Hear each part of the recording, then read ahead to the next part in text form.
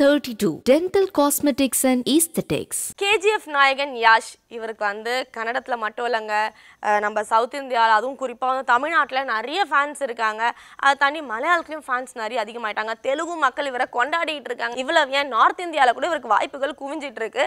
So யாஷோட acting அவ்வளோ சூப்பராக இருக்கும். அது தாண்டி இப்போ கேஜிஎஃப் டூ வேறு வரப்போது இல்லை சஞ்சய் தத் வேற இருக்காங்க. ரெண்டு பேரோட அந்த அந்த சைட் போஸ்ட்டில் வந்து ஒரு போஸ்டர் ரிலீஸ் ஆகி பயங்கர ஹைப் ஆகிட்டு இருக்கு. அது வேற. இதுக்கிடையில் இப்போ யாஷை பற்றி நான் சொல்லவே போகிறதுல யாஷோட மனைவி இருக்காங்களா? ராதிகா பண்டித்.